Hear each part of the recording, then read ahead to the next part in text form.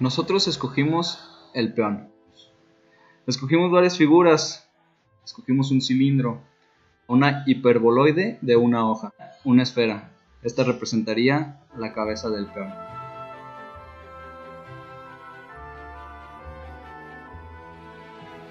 Para nuestra pieza se utilizó un modelaje de superficies cuadráticas. También se utilizó el modelaje de sólidos de revolución.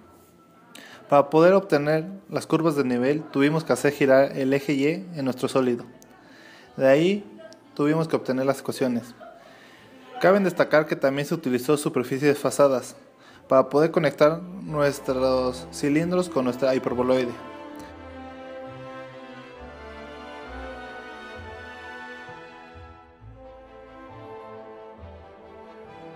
Para calcular el volumen de nuestro peón utilizamos dos métodos. El primero de ellos fue a través de sólidos de revolución, para el cual tuvimos que seccionar nuestra función en siete partes y cada una de esas secciones elevarla al cuadrado, integrarla y multiplicarla por pi.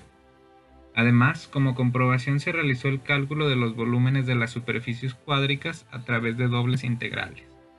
Por otra parte, para calcular el área superficial de nuestro peón, utilizamos la fórmula de área para sólidos de revolución.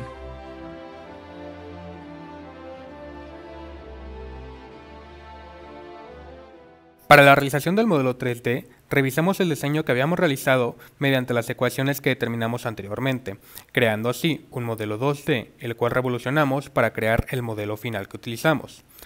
Apoyados de las herramientas del software CATIA, el cual fue el que lo utilizamos para este diseño, verificamos los cálculos que habíamos realizado gracias a las ecuaciones que determinamos.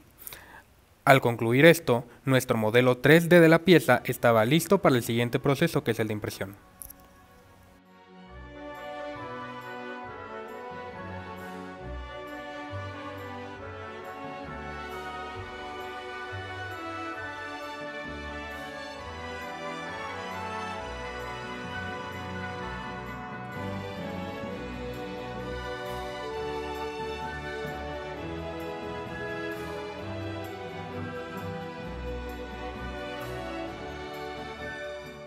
Como último paso del proceso, procedimos a la impresión de la pieza con la ayuda del profesor Tomás Cortés y el archivo STL que se creó con anterioridad.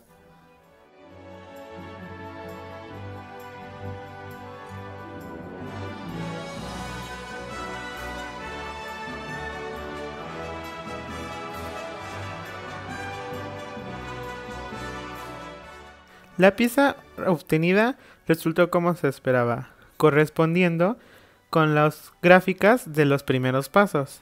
De igual manera, este proyecto ayudó a ver diversas y muy variadas aplicaciones de las matemáticas en el mundo real.